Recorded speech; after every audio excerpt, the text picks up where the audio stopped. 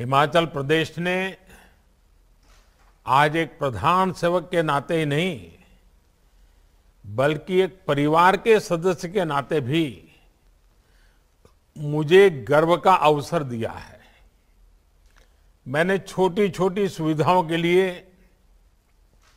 संघर्ष करते हिमाचल को भी देखा है और आज विकास की गाथा को लिख रहे हिमाचल को भी देख रहा हूँ।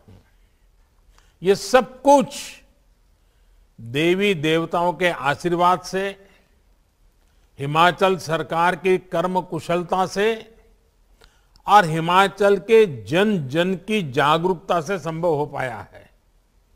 मैं फिर एक बार जिन जिन से मेरा संवाद करने का अवसर मिला और जिस प्रकार से सबने बातें बताई, इसके लिए मैं उनका तो आभार व्यक्त करता हूँ। मैं पूरी टीम का आभार व्यक्त करता हूँ। हिमाचल ने एक टीम के रूप में काम करके अद्भुत सिद्धि प्राप्त की है। मेरी तरफ़ से आप सबको बहुत बहुत शुभकामनाएँ। हिमाचल प्रदेश के राज्यपाल श्रीमान राजेंद्र आर्लेकर जी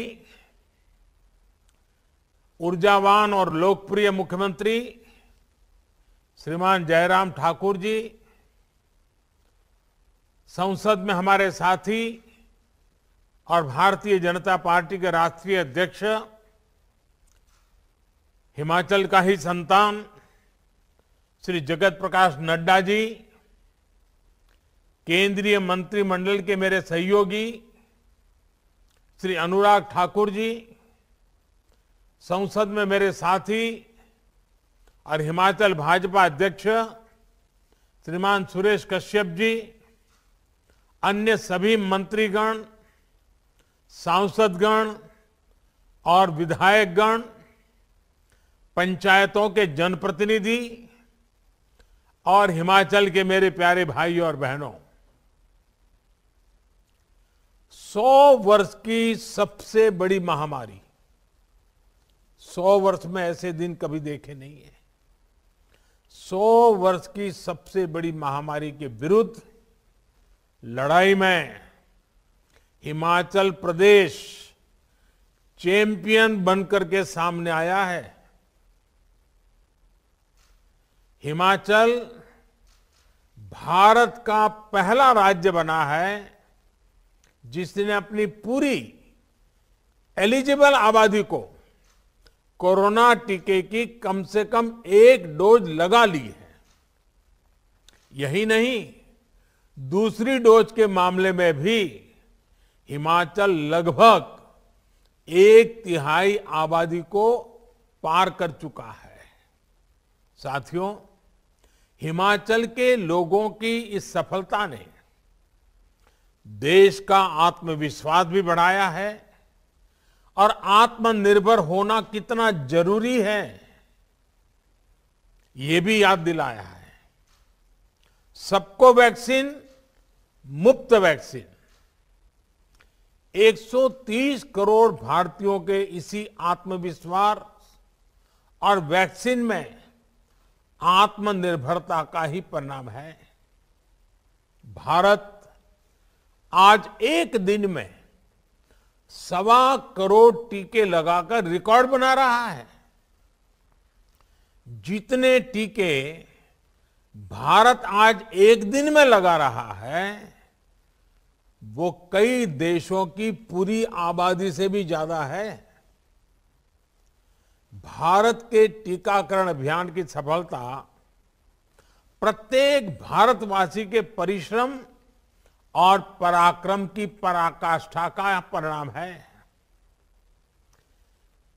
जिस सबका प्रयास सबका प्रयास की बात मैंने पचहत्तरवें स्वतंत्रता दिवस पर कही थी, लाल किले से कही थी, मैं कहता हूँ ये उसी का प्रतिबिंब है।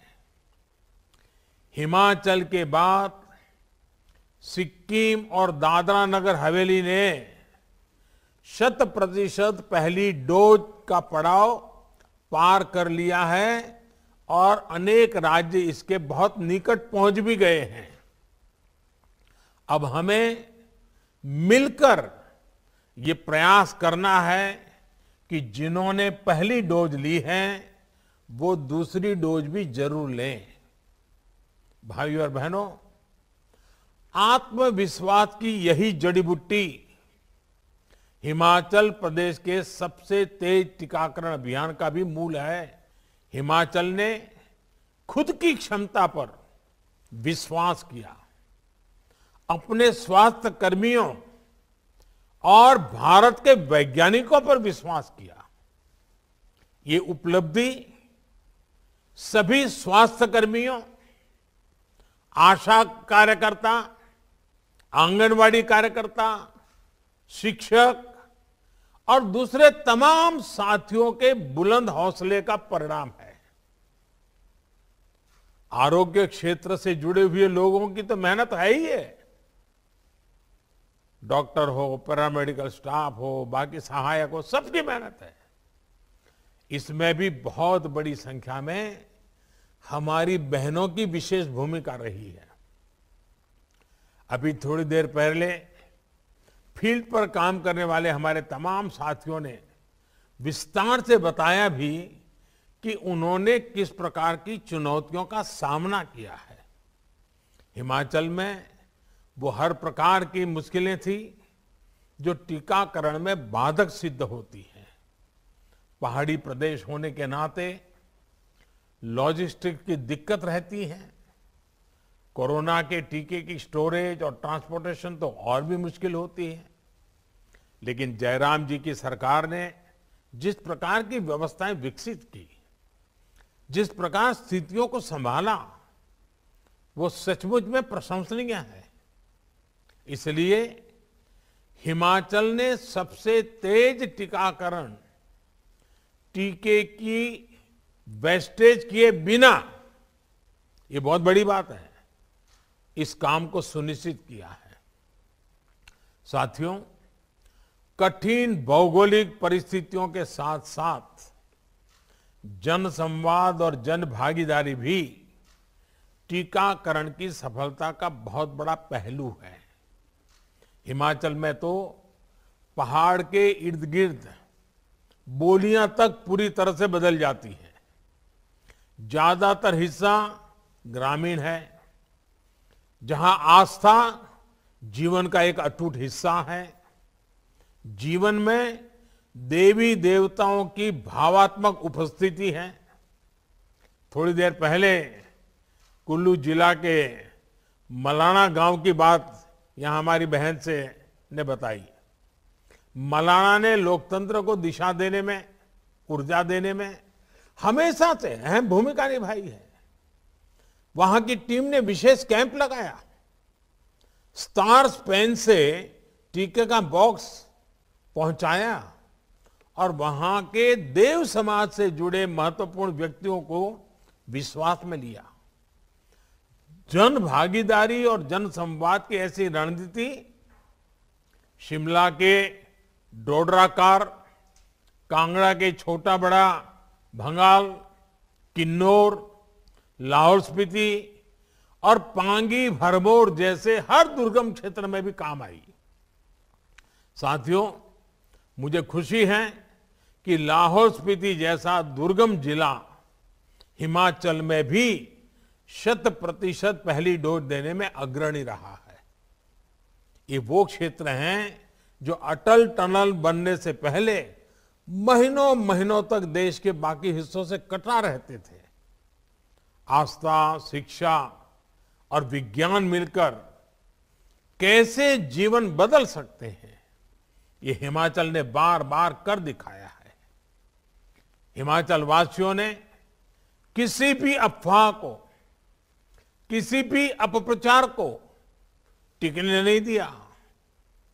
हिमाचल इस बात का प्रमाण है कि देश का ग्रामीण समाज किस प्रकार दुनिया के सबसे बड़े और सबसे तेज टीकाकरण अभियान को सशक्त कर रहा है?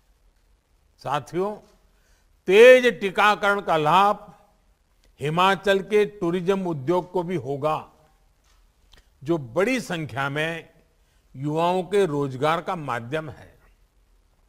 लेकिन ध्यान रहे मास्क और दो गज की दूरी का मंत्र हमने टीके के बावजूद भूलना नहीं है। हम तो हिमाचल के लोग हैं, हमें मालूम है स्नोफॉल बंद हो जाता है। उसके बावजूद भी हम जब चलने के लिए निकलते हैं तो बराबर संभल संभल करके पैर रखते हैं। हमें पता है ना स्नोफॉल बंद होने के बाद भी संभल करके चलते हैं। बारिश के बाद भी आपने देखा होगा, बारिश बंद हो गई होगी, छाता बंद कर दिया। लेकिन पैर संभल के रखते हैं।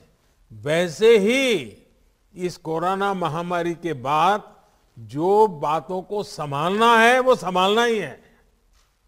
कोरोना काल में हिमाचल प्रदेश बहुत से युवाओं के लिए work from home work from anywhere इसका पसंदीदा डेस्टिनेशन बन गया।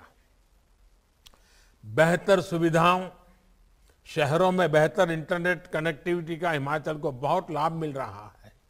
भाई और बहनों, कनेक्टिविटी से जीवन और आजीविका पर कितना सकारात्मक असर पड़ता है, ये इस कोरोना काल में भी हिमाचल प्रदेश ने अनुभव किया है।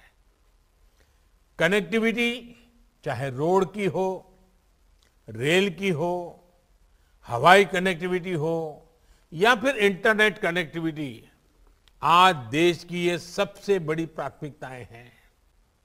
प्रधानमंत्री ग्रामीण सड़क योजना के तहत आज आठ दस घरों वाली बस्तियाँ भी सड़कों से जुड़ रही है। हिमाचल के नेशनल हाईवे चौड़े हो रहे हैं।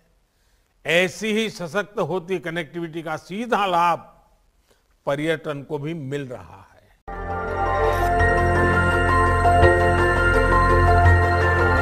देखते रहिए डीवी भारती समाचार नज़र हर खबर पर।